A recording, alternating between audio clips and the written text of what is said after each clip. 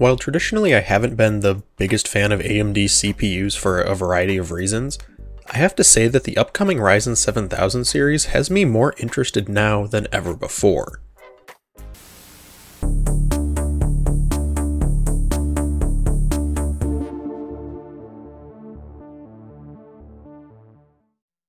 Alright, so what am I talking about for those of you who may not be up to date on what's been going on? At Computex 2022, AMD announced their X670 and B650 chipset motherboards, featuring the AM5 socket, DDR5, and PCIe 5.0 and 4.0 support respectively. What's more interesting than the boards though is the chips that socket into them. And this announcement was a massive lurch forward towards the unveiling and release of the highly anticipated Ryzen 7000 series. From what AMD has said and shown publicly, we know a lot more about them now than we did six months ago. I wanted to discuss some of the aspects of the release that have me looking forward to it, and collect some of the information that AMD has said in their marketing materials during presentations and to the media. The first hardware spec that we have a general idea about is clock speeds.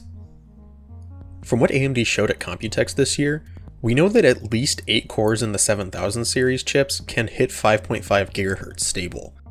They also were clear that this demo was on an engineering sample, which could mean that clocks will be higher on final release hardware, or that clocks will stabilize around here on some models. Now, increasing clock speeds is way easier of a thing to market than some abstract value such as IPC. We'll discuss the general IPC of these chips later in the video, but for now let's assume that there is no IPC improvement over Zen 3 based parts. Just bumping the all-core clocks to 5.5 GHz would provide a massive improvement in almost all workloads. You would see this sort of thing with Intel's Tick-Tock model, where they released a microarchitecture, then the next chips would be a die shrink and clock bump of the same microarchitecture.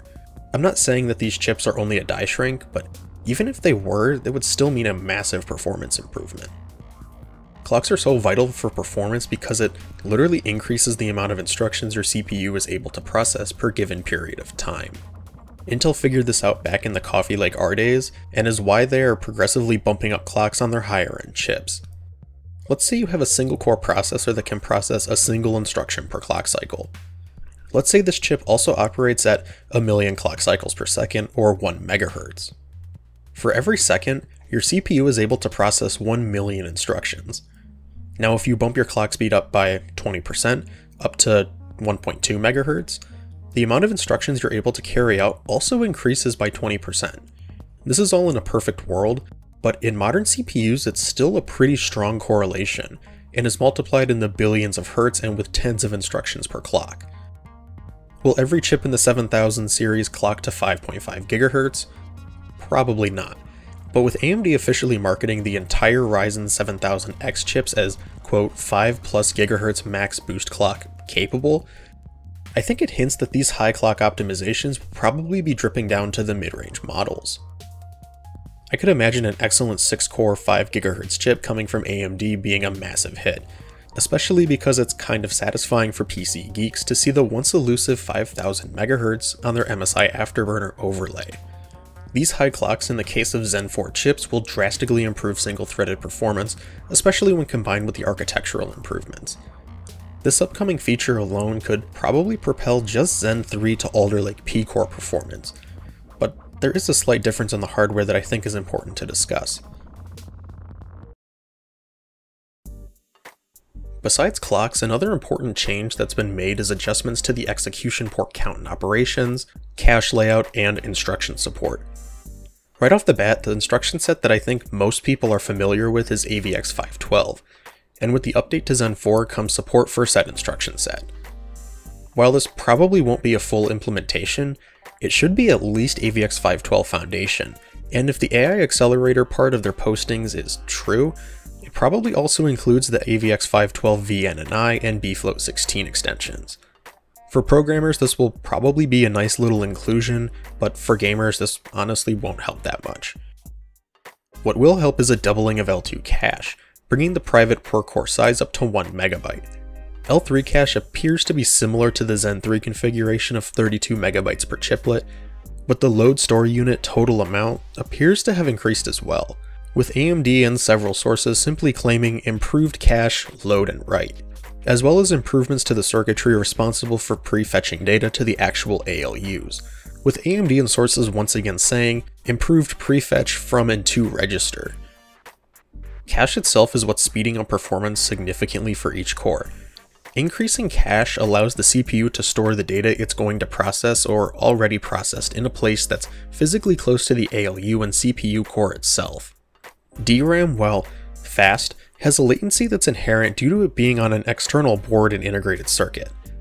Instead of the CPU core just fetching data from its local cache, it has to communicate with another part of the chip that's physically further from the core than the cache is.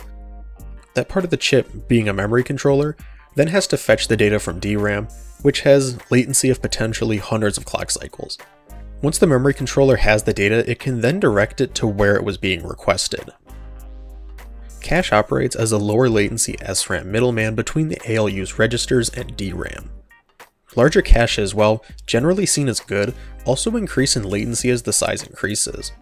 That being said, a delay of 30 clock cycles is far better than 200 clock cycles, which is why even though the latency on the L3 cache and the 3D V-Cache parts from AMD is kind of high, it still improves performance significantly. Overall, for the actual data processing bits of the new CPU, the largest changes are going on with the caches and overall data retrieval circuitry which while not being as exciting as a raw core count increase, still provides seemingly decent performance uplifts on their own.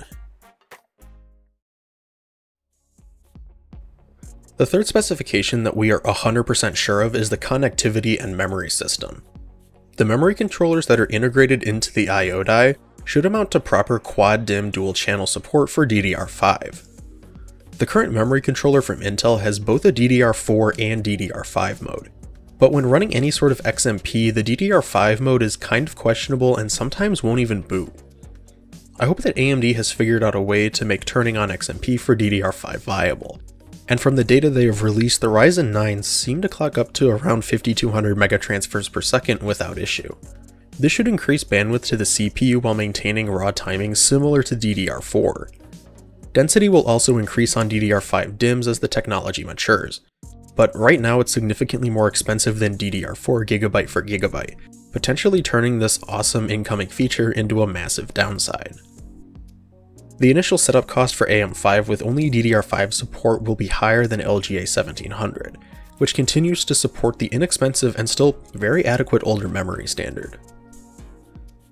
However, one advantage that the new Ryzen 7000 series chips have over Alder Lake and the upcoming Raptor Lake is the number and generation of PCIe lanes. For those of you familiar with Intel's platform, they've been offering 20 PCIe lanes since their 11th gen chips. But on Alder Lake, this was split into 16 Gen 5.0 and 4 Gen 4.0 lanes, which means you get the new and improved standard for GPUs, none of which currently support PCIe 5.0, and then your NVMe drive gets the rest at a slower speed. AMD's platform won't have this issue as the CPUs will come with 24 PCIe Gen 5.0 lanes directly off the chips, setting you up for Gen 5 capable NVMe SSDs. The actual compatibility between these things is dependent mostly on the motherboard you choose, but the upcoming Ryzen 7000 series has the full capability to drive full Gen 5.0 PCIe and NVMe. All in all, I am looking forward to AMD's Ryzen 7000 series. Not that I'm looking to buy one, but more so that I'm interested to see what they can bring to the table when it comes to performance. Recently the pricings for the chips leaked via a Canadian retailer, and things aren't looking particularly great. I think a lot of people were hoping for a price cut, especially on the Ryzen 5s, and I'm not gonna lie, I was in there with them. But it looks like we're actually going to see another price bump, I really hope that this whole situation is just being mislabeled and those prices aren't meant for the public, but they line up to be at least 10% over or nearly the same as the Ryzen 5000 series MSRPs. This combined with the high cost of DDR5 could potentially delay adoption of the entire platform, especially given AM4 is still very strong in value. On the flip side though, given AMD's past long-term socket support, buying into AM5 might be worth considering if you only want to upgrade your CPU every few years, and not have to throw out the entire motherboard. This also means that buying into AM5 once DDR5 prices have come down and the tech has matured a little will probably be around the same price as adopting AM4 as it currently is. The only thing we can do now is wait for the reviews in a month or two. I know I for one will be eyeing these reviews just out of sheer curiosity. So thank you for watching, and if you enjoyed don't forget to leave a like and subscribe, and click the bell icon so you'll be notified about all our future uploads. I'm honestly looking forward to these chips, and I hope part of this video got you to start looking forward to these chips release. That's all I really have to say, so thanks again for watching, and I'll catch you in the next video.